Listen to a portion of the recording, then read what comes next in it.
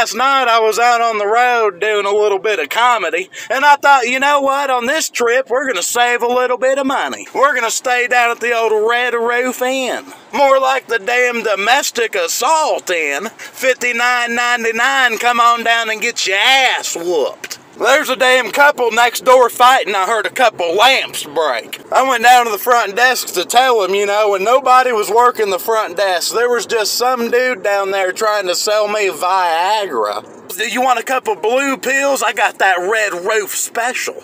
Two for 10 or four for 20. One dude, he's like, come in my room, drink a beer with me. I said, no, bud, I know what you're doing here. You're trying to scam me into butt sex. Get back from the show and SWAT Team 6 is in this motherfucker. They got AR-15s, big old shields. They're in this motherfucker kicking down doors. Guess somebody was down here doing a little roofing at the Red Roof Inn. Finally, all that gets done, I lay down. I'm like, okay, I'm gonna go to sleep, wake up, check out this nightmare will be over. All of a sudden, I hear water running outside my room.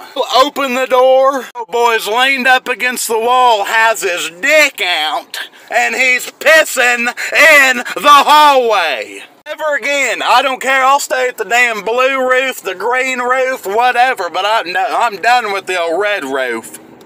This was a goddamn episode of Cops and a couple of pornos rolled all up into one. Facebook, YouTube, it's the Copenhagen Band of the Dirty Rooster production. Make sure y'all follow Copenhagen Bandit 3.0 because we're about to switch over there. I'll see y'all later. I'm going home.